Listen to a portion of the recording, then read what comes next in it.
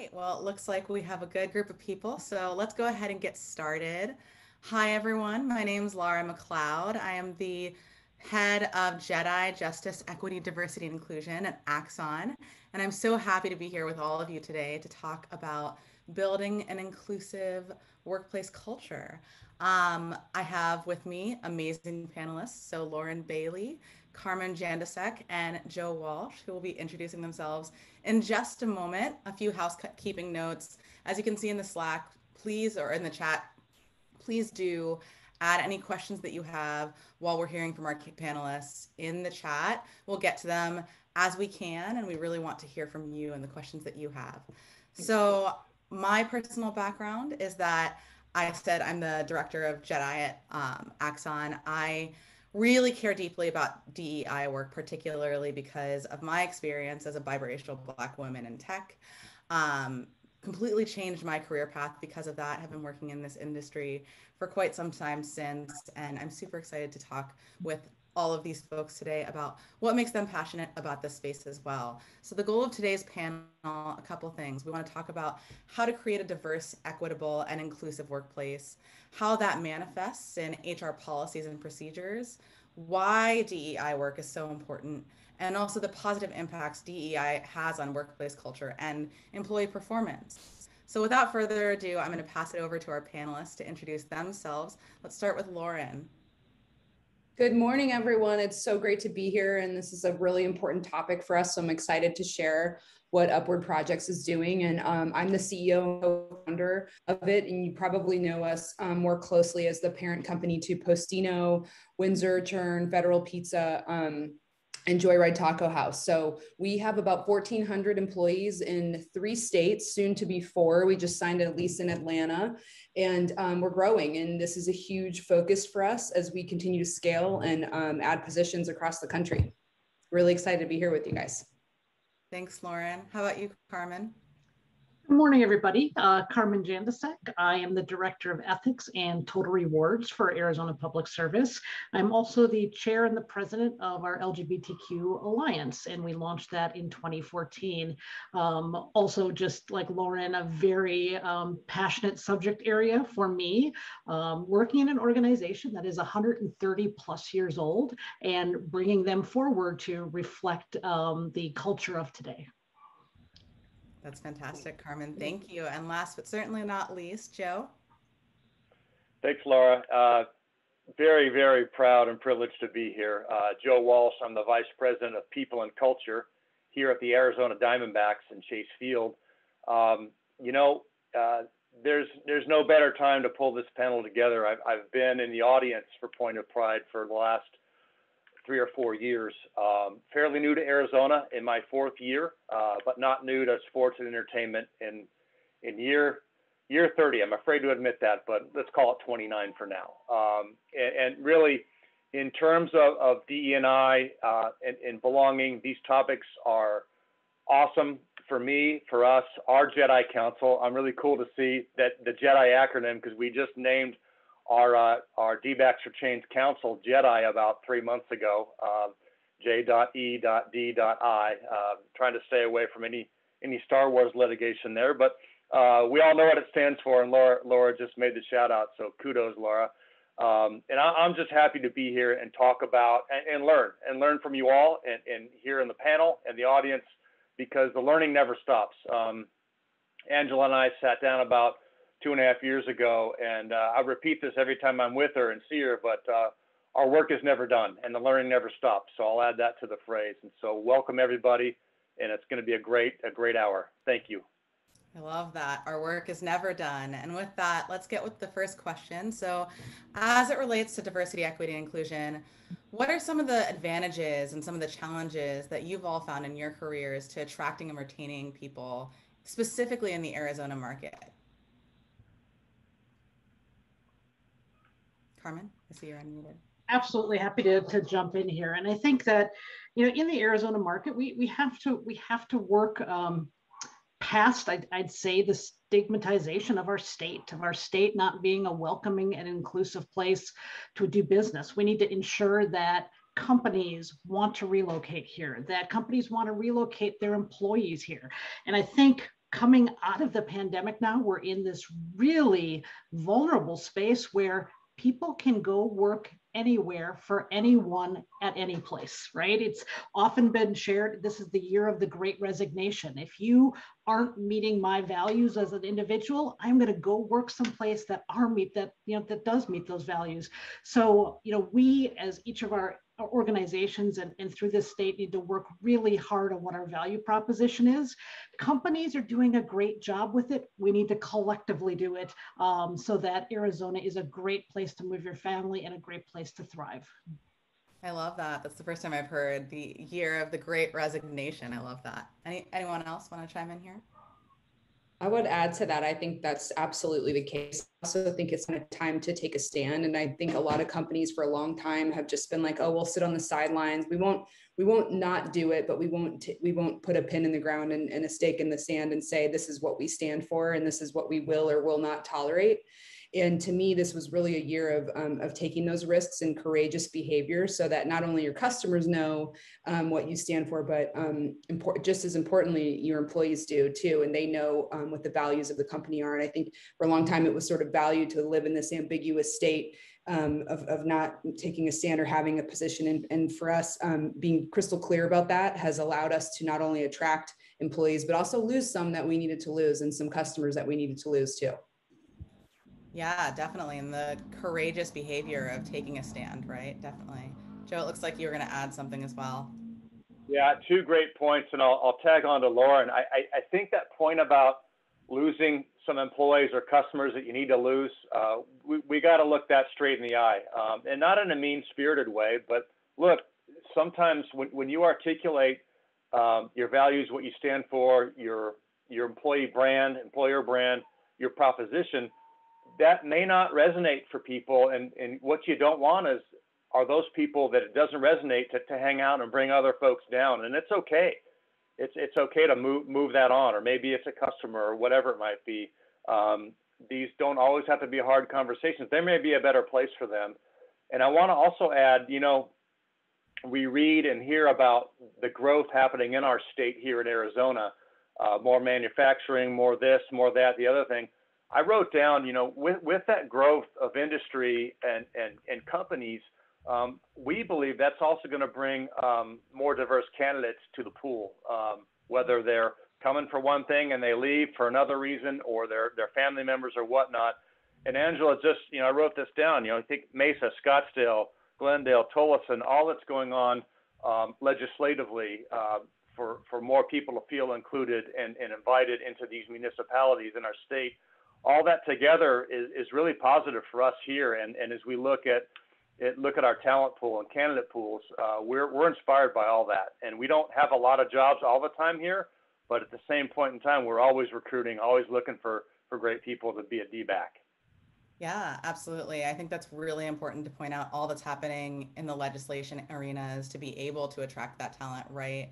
As well as understanding, going back to what you're saying and Joe was adding on to this idea of it's no longer acceptable to not have a stance, right? What is your corporate social responsibility? And saying nothing is saying something. And so you will lose some people and you also will hold hold to your values, which is really great. So speaking of policies, legislation, and kind of moving past that, what are some ways that your organizations are going beyond, or what are some ways that organizations can go beyond written policies in order to, to create that inclusive culture that we know employees need? I could I could start start this one off. I love the question, Laura. Um, I, I think in feel and believe policies are uber important. We we still have to make sure they're inclusive, they're communicable, they're accessible, they're not buried somewhere. But at the same time, I think organizations need to be need to be open and vulnerable. That um, that we're all not there yet. There is more work to do, and for us uh, over this past 14 months, it's education you know, you think about let let's go with age diversity. You know, the age spread of of employees in your organizations, uh, four maybe five generations, and and with education, you've got to meet people where you're at. And I'll stick with ages because people my parents' age, in their 80s, um, you know, they, they may see things differently than than a millennial or or a Gen X or a Gen Z, and so being patient with with people during their learning journey where they're at. Uh, you may see some judgment. Uh, I ask people to suspend judgment. I ask people to appreciate differences. And if you can get them on those two questions, um, which I say every day four or five times, I think you're going to get a, an employee that wants to learn or has that willingness to learn. And here at the D-backs, we had a very robust six session social justice all employee once a month training opportunity last year. Uh, we're, we're headed up to the finish of five sessions with one community. Uh, Angela and Janine and company have been awesome there. And we're heading into uh, people with disabilities training, two, two big seminars coming up toward the end of this year. So relentless training and education. And then before, during, and after the educational sessions, you know, the one-on-ones that happen, meeting people where they're at, see how they react to it. Um, a lot of people don't show up, but the ones that do, uh, we feel they're ready to learn and, and be vulnerable to where they're at. And a lot of them come out and say, hey, Joe, I never knew about this. I never knew the language or this or that, or people felt that way. So have a lot to say on this question. Thanks for asking it and uh, willing to hear what everyone else has to say. Yeah, absolutely. I love the idea of education and meeting people where they are and being able to be open and vulnerable, right? In that and role model that behavior. What else? Carmen, I see you're unmuted as well yeah, you know, we are leaning in hard in the education space and, and really trying to um, move one heart, move one mind at a time through really powerful storytelling. I think that uh, we don't do enough in the workplace around storytelling, and I think that that um, is really moving the needle. I think we're also trying to look at things from a multi-dimensional perspective. So as an example, when I stood up the LGBTQ Alliance in 2014, and we have other um, 10 other employee network groups inclusive of that. And each network group worked hard to create a feeling belonging for their kind of Aryan dimension that they were representing. But we know that for us to move the needle in the DEI and B space, we need to intersect them and we need to bring them together and we need to be cross pollinating on ideas and on opportunities. Another opportunity, I think, is that as as leaders of companies, we have to do a better job of explaining of what good looks like in the space of inclusion, right? We talk about inclusion, it's, it's still a relatively new topic, but we talk about it, but we don't always give a lot of definition of what, from an employee perspective, how can I be good in that space? What does that look like? What are the things that I can do to be better? Um, and so we're also working around, you know, really giving tool sets to employees to help them um, be better in the inclusion space. Yeah, absolutely. Lauren, do you want to add on to that? Of all of that is great. I um I also think that important piece of policy is, is two parts for us is, is one that it's acted on because it's one thing to put it on paper and then when things do we do put those intentions that we behave in that way regularly that those policies state that our behaviors um, daily reflect those intentions. And i think having recurring points of interest where they they become part of daily action is really important because a lot of stuff that we put on paper at times can get shelved and sort of forgotten. The second piece that the reason that we really try to galvanize this is creating the why this is important because we've found in our business that people will have a much higher probability of acting in certain ways or trying to get people to do things differently if they understand why. And it, we create a lot of, um, in all of our documentation and, and policies and procedures, we create the reasons why these things are in place and why they work. And so we talk about a lot of diversity really breeds a sense of innovation and creative problem solving. We bring different ideas and experience to the table we can solve problems faster more creatively better. And when our team really understands that and they they they have a higher tendency to embrace that because they know you know the restaurant business is full of problems on the daily. I mean we the time is it's 10 16 we've had like i don't know 30 happen me today. And so we're getting we're really good at problems. And, and our team knows we're even better at problems solving problems when we have a diverse set of brains thinking about them. So we're trying to really attach the why to the policy piece I love attaching the why. That's often so much of what companies miss, right? That why and having employees find their why as well. Um, I want to go back to something that Lauren and Carmen, you both touched on from the standpoint of what good inclusive behavior looks like, right? And kind of defining that or helping employees to see that. So we talked a little bit about, um, you know, seeking out diverse perspectives, having diverse perspectives in the room. What else does good look like for employees embracing inclusion and equal treatment on a daily basis? To me it's courage. It's like having the moment where you say literally had this phone call from one of my best friends this morning. She works at a salon and overheard this woman saying like a, a, racial slur against chinese people. And she's like you know i had this moment where i'm like should i let it go? And i think part of this is is training people when you see something you say something in all these different moments. And and so much of it is is courageous behavior around uh, not even just calling things out, but having ideas and, and courageous behavior for yourself of questioning, you know, why is it that I think the way I think and how was I raised and how was I socialized to believe these certain things or questioning your own um, sort of behavior systems and how how your own biases that you may not even know about um, exist. And i think having that deep sense of courage to do all those things around this is is probably the most important starting point for me in my mind Right. So that awareness piece and back to that education piece. Carmen, you're how about you? Absolutely right. And I think you know Lauren hit on this so well is that we we have to um, give people the tools to interrogate this type of microaggressions. And, and, sometimes it's just flat out offensive statements that people are saying, right? And, you know, creating an environment that you can hold to truths. One, what they just said was inappropriate, stereotypical. And two, not judging because how else do you help bring somebody along without then employing that courage to say what you just said to me is not okay let me help you fail safely and be better going forward into the future right um, and so often i think that we just haven't we haven't armed we haven't provided the tools to people to feel that and when when an employee can be wrapped in the support of an organization that inclusion is table stakes. So we expect you to speak up and challenge in this space. Um, that is that is going to drive results in creating the kind of culture that you want. Yeah, absolutely. Someone put in the chat and emotional intelligence creating inclusion. Absolutely. So thinking about what I heard from you, empathy, um, not what I typically call weaponizing wokeness, and then as well psychological safety, right? So being able to provide people that safe space to get curious and make mistakes. Joe, anything else you'd add on to that?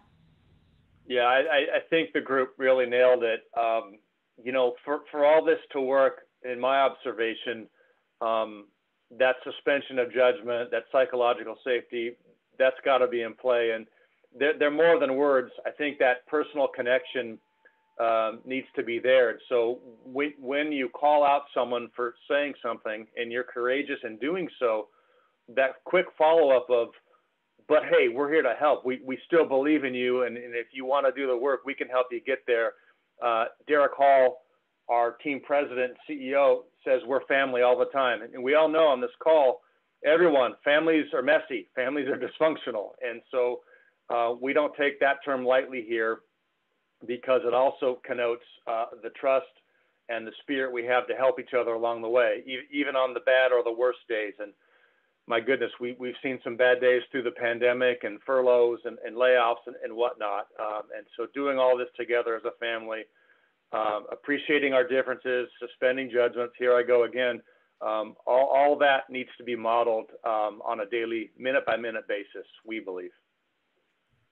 Absolutely. So go back to that, you know, vulnerability and role modeling, the fact that we are messy, right? We can be open and vulnerable and make mistakes in order to encourage other people to do the same. I love that. All right, so switching gears a little bit, talking about last year. So the Supreme Court ruled in the Bostock case that employment discrimination was against LGBTQ plus people was illegal. And so even though that was that's now the law of the land, we knew that businesses had already been implementing inclusive policies so that employees were protected in a wide variety of categories, including sexual orientation and gender identity. And so, thinking about policies, legislation, I know, Joe, you mentioned earlier, that's a great way to attract that talent, right, to the Arizona market. Um, why do you think in- inclusive policies work? Um, why is it so necessary to have those two pieces, right? Both internal company policies and legislation. And then, what have you seen as the benefits of inclusion in your workplace?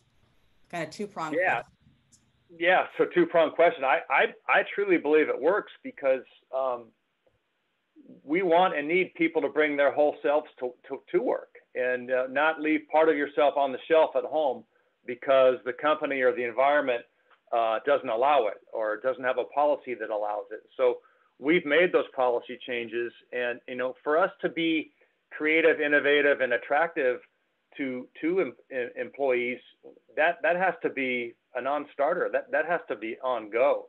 And, and so when we feel that we have um, our whole selves, uh, regardless of what they are, here coming to the D-backs, we, we do see the courage. We do see people speaking up in meetings. We do see people modeling, see something, say something, which is uh, you know a great phrase and a great reminder.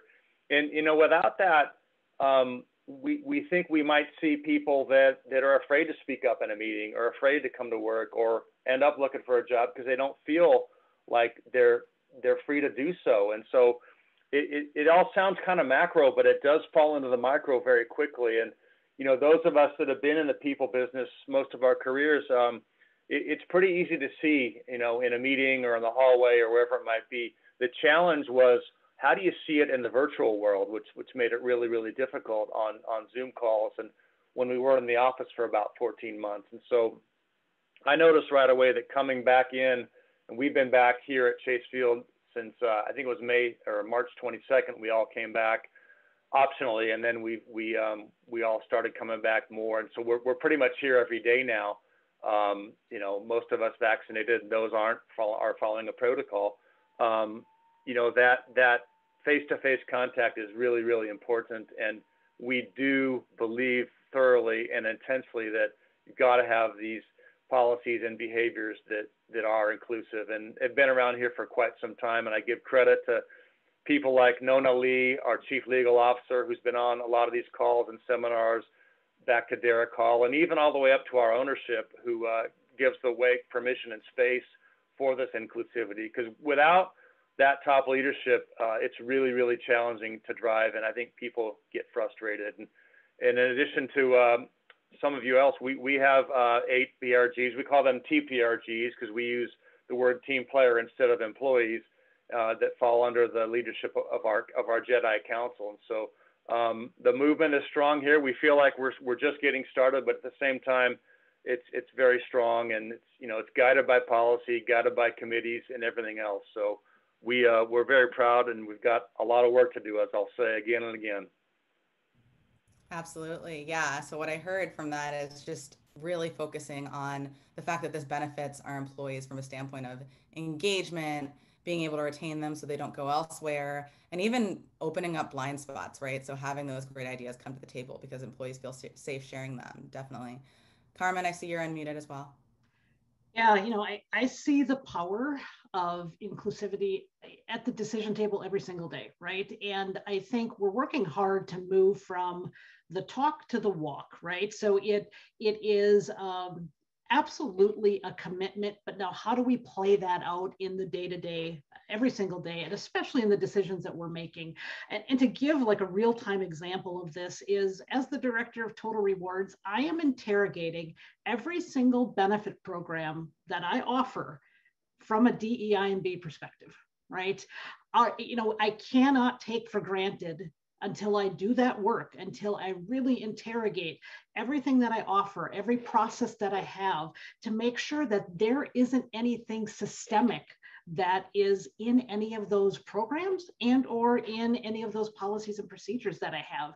And I think that's the walk that organizations need to do is they need to dig deep into their policies and procedures and say, okay, when we created this, what was the bias that was potentially uh, at play here and how can we reinvent this for the future i love that thank you for modeling that intentionality and that the work that it takes right to interrogate and move from the talk to the walk which a lot of companies are still trying to figure out for sure lauren anything else you'd add on this no, I think it's so great. It's just so neat to hear that. And, you know, for us, we really value um, innovation. And so when you asked about what benefits do we see for this? I think that that's just so huge and can't even be understated. And i think when people make a, a, connection to to again like i said the why about what we do with things and consistently reminding like wow that's so great. Like we solved this problem so fast because so and so had this idea and so and so had that. And we really just catapulted in the level of innovation when it comes to marketing and um, r&d ideas and how we design spaces and how we creatively solve problems. I mean it's it's exponentially and I in the question too, even the side is like about how do you help people learn? I think the positivity around this or the way you said like um weaponizing the woke I think the opposite of that is like highlighting the benefits. And it's it's just easy to forget to talk about that stuff to really like we're all about changing behaviors, specifically with our team or getting things like go a certain way. And I think rather than you guys have touched on this, but rather than making people feel good, how do you make or feel bad? How do you make them feel good around what they're doing and that these things really push things forward and they make situations better? It's not like, oh, I'm going to guilt people or make them super nervous to say anything or do anything it's about i think really inciting people that there's so much good that comes from this and highlighting those great things that come from it as much as you highlight the things that create challenges around it too right so kind of what you were talking about earlier of the why the company why and then what's every individual's why for pushing this forward right? What is the benefit for them and even like small examples of talking about you know the person asked how do you get people of privilege to help with this mission of teaching others? And i think one they need to step up and say something like i said earlier but two it's like having these really little small micro examples that happen day to day and understanding um, where we're at now and where we want to go, and then how these this these diverse sets of, of, of teams really contribute to to moving the ball down the field faster or better or more fun or more creatively. And, and those pieces and parts are like really great to talk about, and I think that that really helps change behavior in a positive way. Absolutely, thank you for sharing. So we did get our first question. We're going to go a little off script for a little bit and answer discuss this question that came up. Again, if you have any questions around anything we've talked about or anything in the inclusive workplace space, please do feel free to put it in the chat and we'll try to get to it. First question is sometimes for people of color, queer folks, and other marginalized groups, it can be really difficult to confront microaggressions and general blind spots, ignorance, and often it, the burden falls on others, right? Others from underserved identities to do that teaching um, to others to be inclusive and mindful. So, how to marginalize people inform others without making themselves responsible to teach everyone, right? Taking on that burden solely. And then, how can people with privilege step up in some ways as allies to support their colleagues to encourage a more inclusive environment? So, again, two pronged question. Carmen? I can, I can jump in here. So I, I think by proactive education and you know creating the tool set to help those that are allies you know those that are in a position of privilege to really help interrogate that that is going to be really important. And i think understanding that you know dei and b is not is fairness and equity. It's not special treatment right? So creating some really powerful powerful consistent narratives in your organization that you can lean into those that are struggling with it um, and help open a conversation to maybe open up their frame of thought reference um, and understanding to be better. Absolutely. Yeah, I love the fact that you point out fairness and equity, not special treatment. We're going to come back to that around creating some clarity around equity. But anyone else want to speak to that question around how to not put that burden only on marginalized identities for teaching and how to have support colleagues and standing up and creating more inclusion? I would just say, like, you know, I think I talk to a lot of people and I'm in um, a few business groups like YPO and EO that are pretty much mostly the members are um, white males. And I find that the majority of these folks like really want to be active in this area and just don't know how to do it um, or what to say and there's a fear that like if i say anything it's going to be the wrong thing and so i'll just say nothing and hope like i'll keep my head down i won't get i won't get into it and you know I, I think a big part of this is is people that do have awareness of this and like all the people who are on this panel and all of us who and you know I'll, I'll give angela a huge credit right now because i remember when i met her i think it was four or five years ago and we had coffee at the Henry and we started talking about this exact topic. And I felt like her approach was so great because she wasn't over here trying to demonize anybody or you know make republicans feel bad about that or whatever it was she was really focused on how to get people the tools in which to be more inclusive and not about demonizing people but giving them ways in which they could say things and tools in which hey when you hear something like this is a great way to talk about it and i think that that people who do have these positions where they can teach. Joe like you i mean you have huge reach in in a world that is full of what i would generally say are privileged people. But to give them tips and tools on what to say when they hear or see something i think that's really the challenge is i find a lot of folks are really like frozen and they tell me often like you know i hear this i say something but i don't want to say the wrong thing so i say nothing. And to me i'm focused on those guys and gals that like hey here's what you can say or here's what you can do and like i said my friend called me this morning and she's like i just overheard this at my salon like what do i do and the great thing is, is that people want mm. to do this. I think they just need leaders like us to step up and help them with the specific tools, specific languaging, and ways in which to move the needle on this. Because the great thing is, is there's this huge desire to do so. It's just kind of the next subsequent steps that follow that people need guidance on. Yeah, safe space to ask the questions that people think are dumb or to make those mistakes. I know that one of the things I often say, similarly, Lauren, is um, people who are from marginalized or underserved backgrounds, they, these are still uncomfortable co- topics, right? No one's ever comfortable calling out these behaviors or educating or talking about this. It's just that some have more experience having worked that muscle because it's their livelihood, right? It's what they live and breathe every day. So normalizing that this is this can be tough, tough and tricky for everyone. Joe, anything else you want to add? Just to add to that, I think like, listen, if I'm going to be really straight about this because I feel really passionate about it. If you're going to be a leader in 2021, you damn straight better figure out how to help with this and talk about it, or you shouldn't be a leader because it is not a question of if you want to do this anymore. It's a question of you, you have to do this. It's a key piece of leadership now. It's not like it was 20, 30 years ago, or even when I started in the restaurant business. It's not like this is an option. It's, it's a requirement of leadership. And if you're going to choose to go into require into leadership, leadership, you better understand and learn your own skills in your own way to move the needle on this. And if you don't want to do it, get out of my way because I've got 20 other people behind me that'll stand up and do the right thing and help other people move this needle. I love that. Damn straight. Yeah, that was amazing. Thank you, Lauren.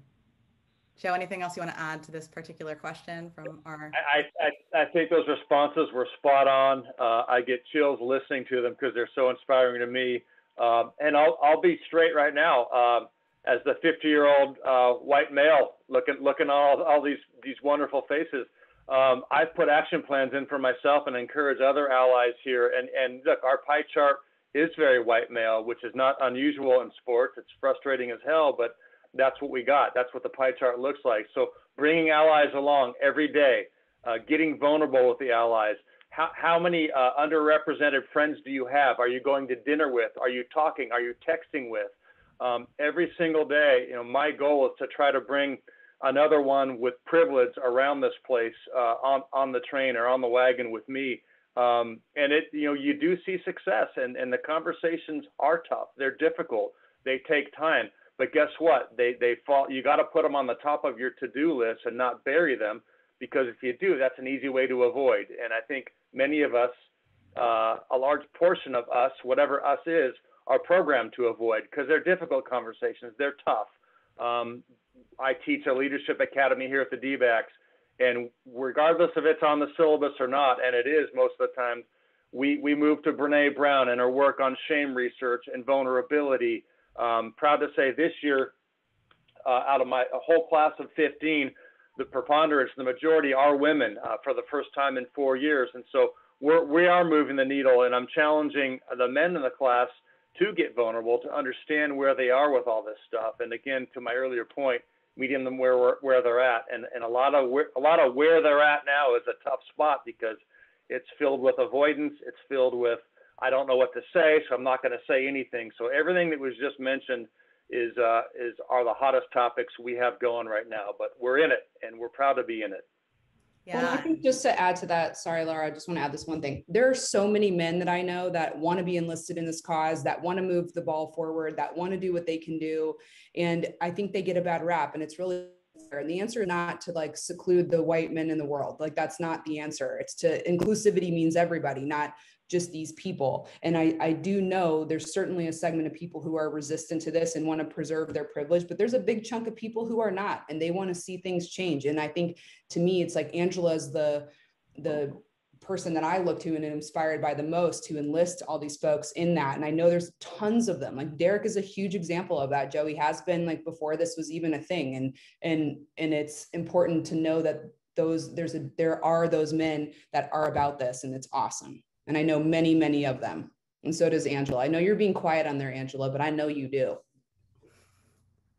That's fantastic, Lauren. So many people are telling or putting in the chat that you're giving them chills and they're really resonating with what you're saying. So thank you. Um, another question from one of our from one of our viewers today. In the legislation in the legislative session yesterday, the topic of Arizona companies that had a policy of not weighing in on social or political issues came up. How can we as the public encourage Arizona companies to understand or help them understand that it's not acceptable to no longer have a stance, um, like we've been discussing in this panel so far? What are some ways that the public and people who are participating in this panel as attendees can do to kind of move that needle? Uh, one of the proudest moments that I had at my company is when we signed the Unity Pledge, right? When we gathered dozens of individuals um, for an amazing photo to show that kind of public commitment. Um, so definitely Angela has led that charge for many, many years, um, without a doubt, in, in creating that opportunity for companies to publicly show that kind of support. Love that. And that's what Angela also put in the chat. Anything else we want to touch on there? Lauren, Joe? I, I think I think signing the pledge, yes, which which we've done. I think, you know, bring in one community to help talk to your people and, train your people and, and have access to, to groups like that. And uh, there are other groups as well too. Um, look, as a consumer, um, you know, maybe you're not going to partake with a company that doesn't include, you know, and be be pretty overt about it. I'm not going there. I'm not shopping there. I'm not buying their products. I'm not going to not to give them my money, um, whatever that might be, and, and you know tell others about it. And here's why I'm doing it. I'm not just being a jerk. I really I really don't believe uh, this company is inclusive, so I'm not going to be a consumer of that company. Vote with a wallet. I just saw the, the the comment from Janine. That's what I'm saying in better words. Thank you, Janine. Yeah, absolutely. Lauren, anything else you want to add? Super. Um, when George was murdered um, took a big hand and you know we're in the restaurant business and we painted on windsor everyone is welcome like many years ago i think 10 years ago or something and part of that does mean people are welcome who don't think like you think however um, you know we elected to close the restaurants the day that his body was transported back to his family and so that our team could have a day to reflect and a lot of people were like pretty upset about that and we got a lot of letters from people. And I touched on this earlier. And I think it's one of these points where you need to be a little comfortable with the uncomfortable and knowing that I got personal Facebook messages. I have a biracial child too that were like, if you're going to let ins in your restaurant and this is going to go on, I was like, we're not coming. And I remember being like shocked for a moment that this is really a thing like happening in this moment but then really I opened my opened my eyes. So this is what some people deal with every day and wrote back to this person like, great, I'm really glad that you feel that way. And we've identified that you're not welcome in the restaurants anymore. I'd love it if you wouldn't come in and thank you. Like have a great life. But my company and our team and like what that meant to our people and our community um, was huge and i think it was a risk but it was the right one that we took and like i said i know we lost some customers but they were ones that we don't want anyways and it but the ones that we lost it galvanized for us our community even further. And i'm really um, glad that we did that. And even though a lot of people called me and a couple of our investors were like hey are you sure about this? It could be polarizing and da da da. And i was like we're doing it. And we never looked back. And i'm really glad that my team was supportive of that decision. And so was um, everybody else. Um, didn't change it. That's fantastic. So i want to before we move on to the last question that i have i want to go back to something we were we were talking about lauren. I know you said that you know more often than not there's a large group of particularly men white men want to get involved. There are some that um, want to protect that privilege. And then um, carmen you had mentioned this isn't giving handouts right or special treatment. It's about fairness and equity. So for our audience i would love to just hear from all of you what equity means, right? Because oftentimes we get stuck in talking about equity and DEI without really understanding what that means and how that relates to equality not being, you know, special treatment or handouts, things of that nature. So Carmen, starting with you, I'd love to understand and create clarity for our audience there. Absolutely. Equity is about access Uh, it is about um, ensuring that there are no biases or barriers to um, whatever it is that you do, whatever it is that you offer at that point in time.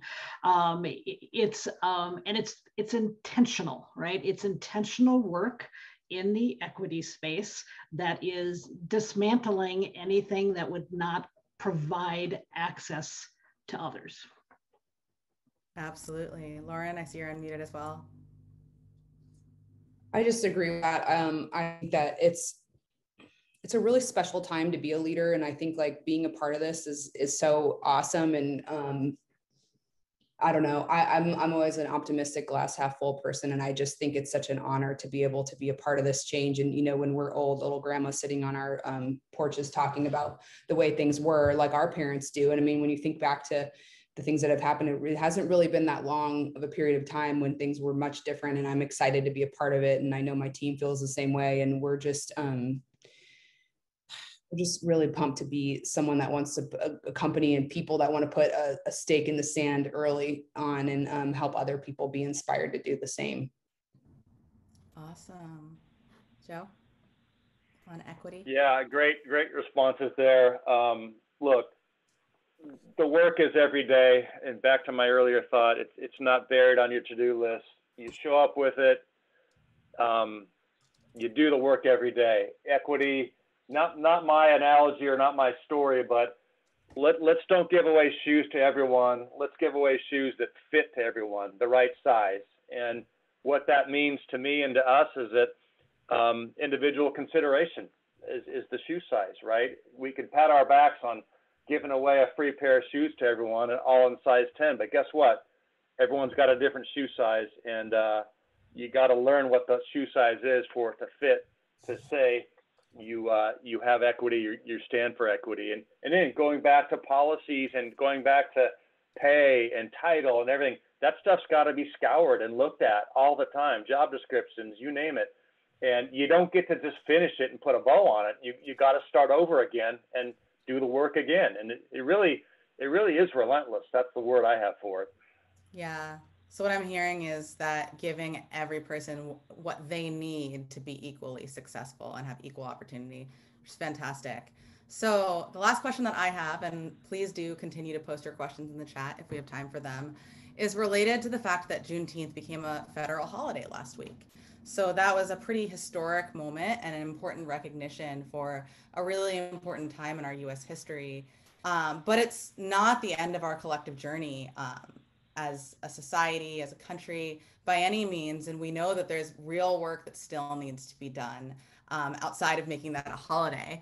So increasingly, individuals, businesses, organizations are all using their voices to try to challenge the status quo and our systems of racism and acknowledge our systemic racism issues um, and to try to take meaningful action. And so, how has your organization been a part of that, been actionable, been holding yourselves accountable for challenging the status quo? And then, how have you personally evolved or learned over this past you know, year or over this past kind of movement that is arising? Lauren, I see you're unmuted. So we did um, Juneteenth. It happened really quickly, and so there wasn't a ton of time to plan. Um, just I'll give you a little like back of house logistics speaking. Um, and so we elected to our our corporate office took the day off on Monday, which isn't really a thing to do, but um, that was something that we wanted to engage in right away to give people a day to think about this and um, and also play part in the, the, organizations and stuff that they do.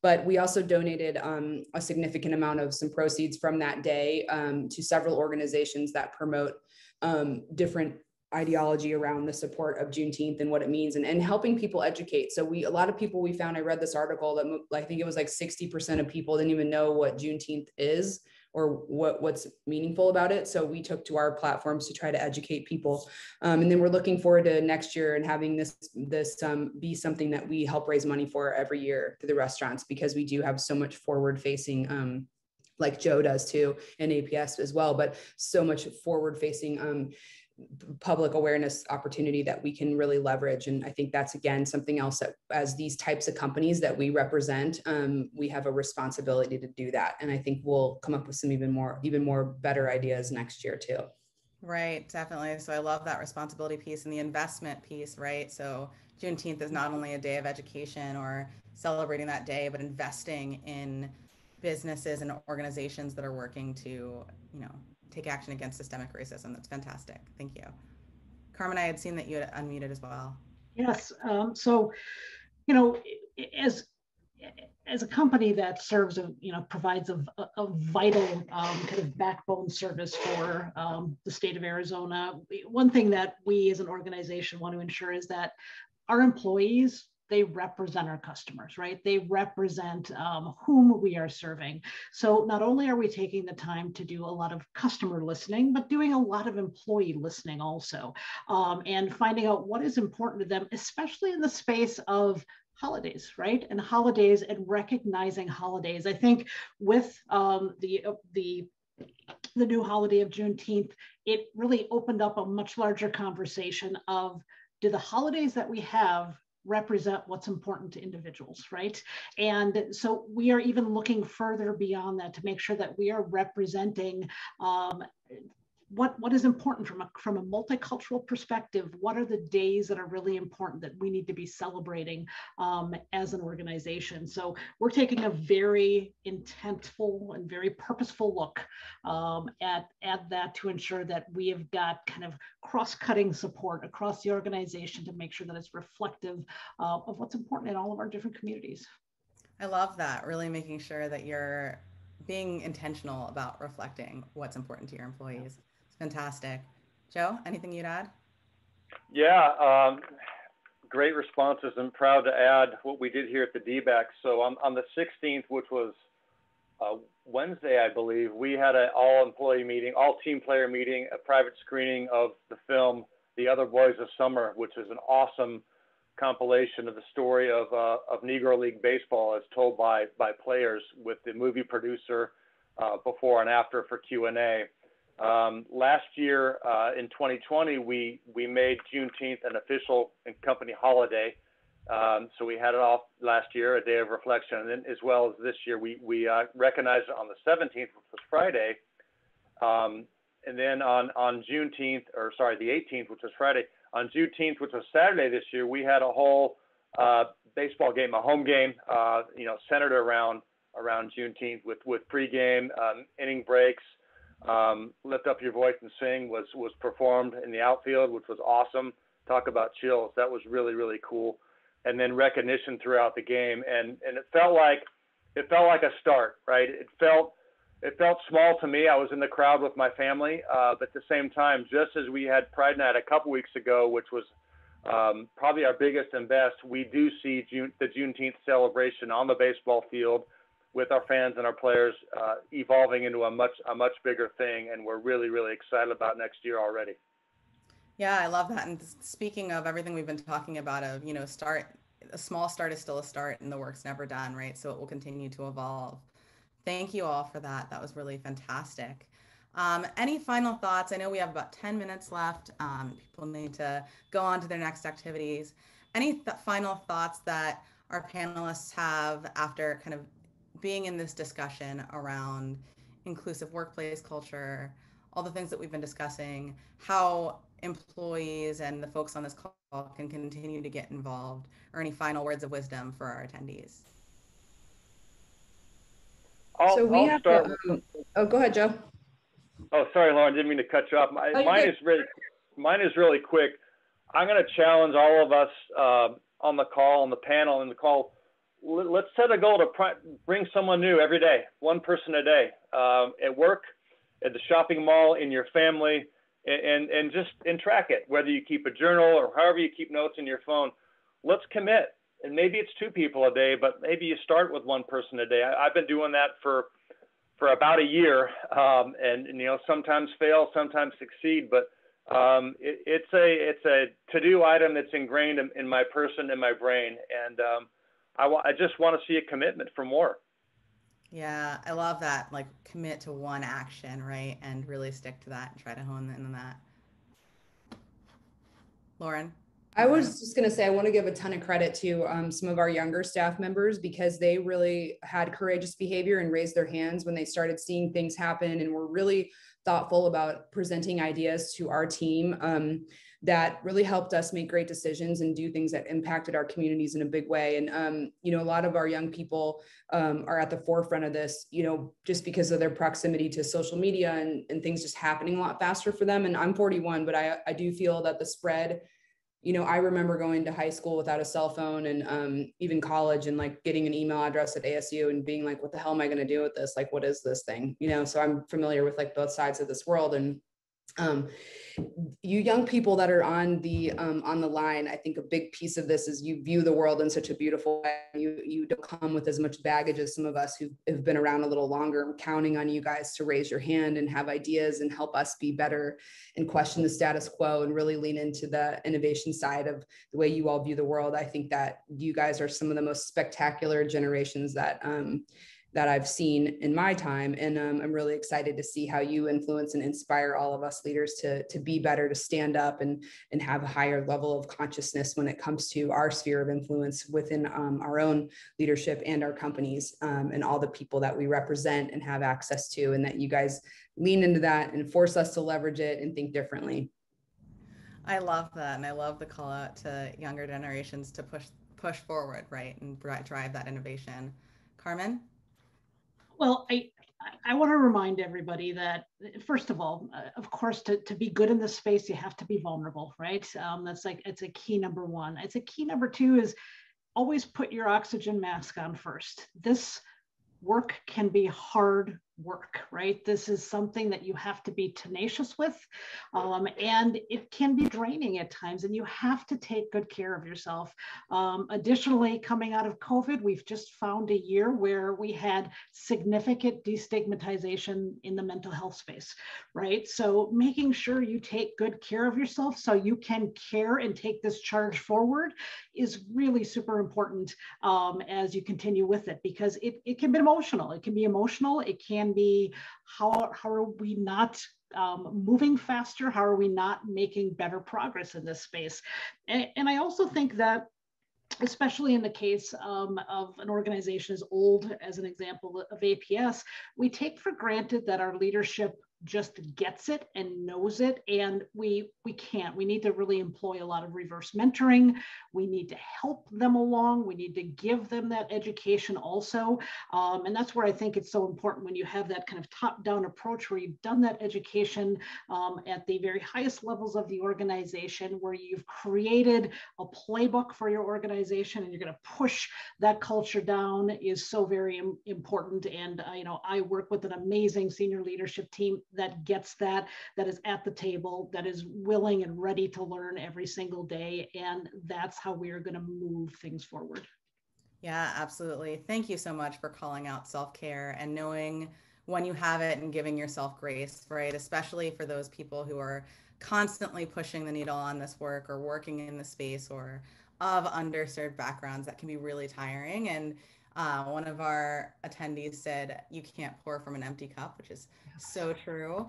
Um, thank you all for your words today and your words of wisdom and your perspectives.